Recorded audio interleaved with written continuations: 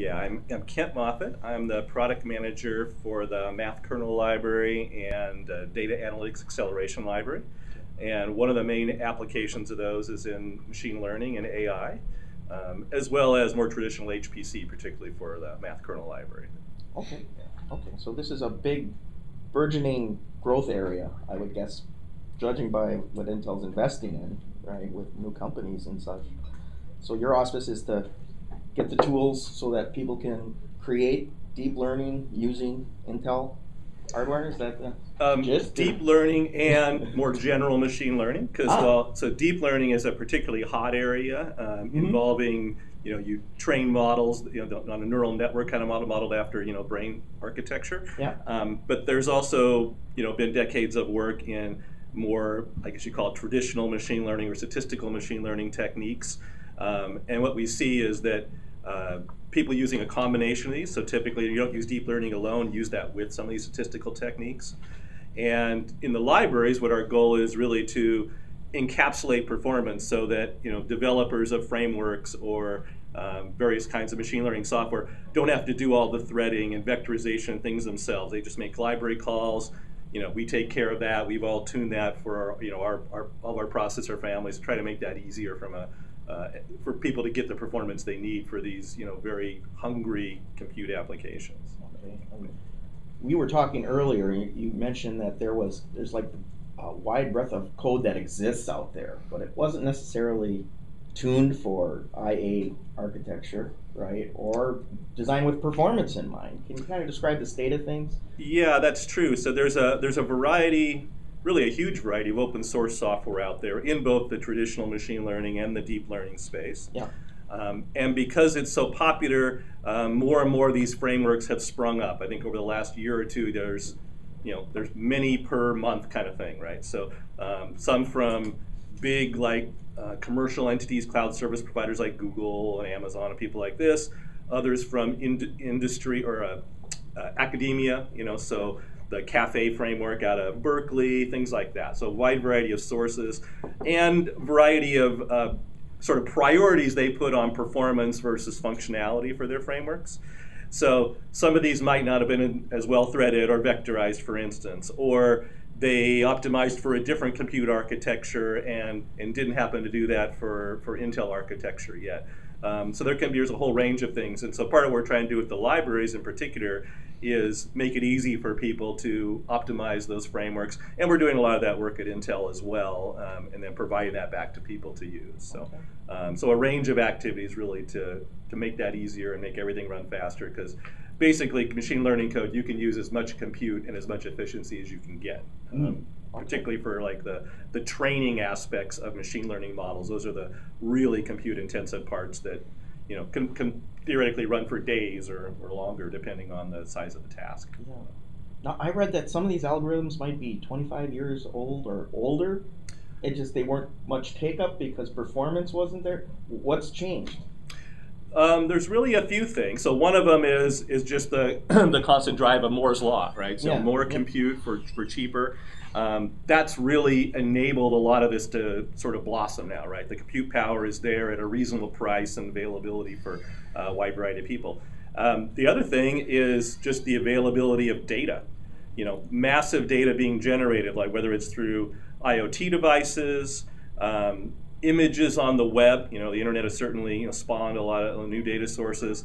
Um, so having the data available, which you need a lot of it to train models and, and, and really base these algorithms on, having the compute, um, those are really the two you know primary drivers for why some of these algorithms that were more or less just research topics are on the shelf are now being put into you know much wider production. Um, and it's, it's a hot topic. You know, how much is actually in production? You'll get different debates about that, but certainly everybody wants to take a look at this. Everybody says this is this is likely going to be important to them, whether they've quite figured out how yet or not. So, All right, so we've got some prepared questions here. okay. Um, boy. Okay, well, yeah, let's let, let's just go to the general to specific here. Can, can you describe a couple of use cases where Intel tools were used to create um, a machine learning code that's being used uh, out there in the world? Sure. So one of them uh, is a, uh, cloud service provider in China, Mm-hmm. and one of the things that's important to them is detect like um, illegal content. So whether that's Mm. um, you know, copyright infringement or pornography or whatever they decide they're trying to they're trying to screen out of their their video. Um, and they used an Intel optimized version of the Caffe framework, an open source code out of out of Berkeley, um, and uh, they were able to, with the work we did versus their initial experiments, get about 30 times faster once they used our optimized frameworks with the libraries. Um, so that's an example of you know, with, with the work we've done over the last year versus the standard off-the-shelf open source code, um, you know, we've been able to do some good optimization and deliver it. So now it's a production performance kind of platform for, for that company. So. Okay. Okay. Um, I don't know if this is a good question or not, but um, so what are the key difficulties in getting machine learning code to scale? Okay, because this is HPC world. That's what we're about, right? Uh, getting it to run on big cloud data centers and sort of provide this to lots of people in a very quick fashion. Right? Okay, sure. Um, well, I'll, I'll divide it into two pieces. So first, Yeah. there's just on a single node, right? Yeah. So, um, and this would be your your sort of classic code modernization techniques, right? Where, Yeah. excuse me, we're beyond the point where you're just going to get processor frequency to deliver you more performance. So you've got to do something in code. So. Um, Threading and vectorization are really the two big things that people people do. Mhm. Um, there are other techniques, of course, you know, core affinity and all these kind of things, but those are really your two major challenges on the single node. And it's equally true of machine learning codes as it is with sci- other scientific codes and things we've seen, financial codes, all really need these same techniques to be applied. Um, and then to be able to scale across a cluster, you know, multi nodes, um, that has its own challenges in terms of um, you know distributing the compute load, recombining those um, the individual um, uh, computations that are done on the nodes. And there's a variety of techniques for that. You know, in the HPC space, you, you've traditionally seen a lot of uh, uh, MPI, message passing interface, and then, uh, but there are others like like the uh, Spark framework is really popular for um, for machine learning, and they have their own distribution scheme. Um, and of course, there's others, but those are just a couple of the common ones. And and you know, trying to you get the right algorithm for dispersing the compute and efficiently combining that and dealing with the communication overhead between the nodes. Those are all things that you know, if you want to really get optimal performance, you got to think about in terms of that scaling. Is this any harder than any other optimization problem that a HPC guy might come across, or is it just a different uh, genre or something? What- I what think it's more just a different genre. Yeah, I mean, yeah. there's certainly unique expertise in the algorithms, Mhm. right? But I think a lot of it is shared. Um, that it won't be there won't be a lot of surprises in how we're doing these optimizations to experienced HPC folks. Um, and but but you know there is a there is certainly a uh, a particular expertise required in in this area, particularly for someone who's writing a framework or optimizing a framework and really needs to understand the details of the algorithms to get that right. Someone who's just consuming and using the frameworks, hopefully, if, if we've done all our jobs right in the libraries and um, the framework authors, you know, that, that should be much easier for just the end user. But, um, but for those of us providing these tools and, and frameworks, you know, that's the kind of thing we've got to focus on. Well, I just want to double click for a last question about MKDAO, for example, right? Uh, is a lot of that optimization, is that your job to make that so that the user isn't worried about it, that they plug in this library and they can get access to all that parallel hardware and everything to get performance on the back end without, you know, worrying about it? Is that the idea? Yeah, that's a lot of it. Um, that's a lot of it. So, um, of course, you can't encapsulate everything in a library, Yeah. but um, we do our best to do as many of these things as possible. So, as we've learned more about, uh, you know, develop more expertise in machine learning, we've learned that, oh, gee, maybe this matrix multiply, we need to optimize different sizes, things like that. So, we've done that in the library. Um, or we now have a, a new library we're breaking out for what we call for multi-node scaling to make it easy for the framework developers just make calls to this library and then it takes care of distributing the load across multiple nodes in a cluster.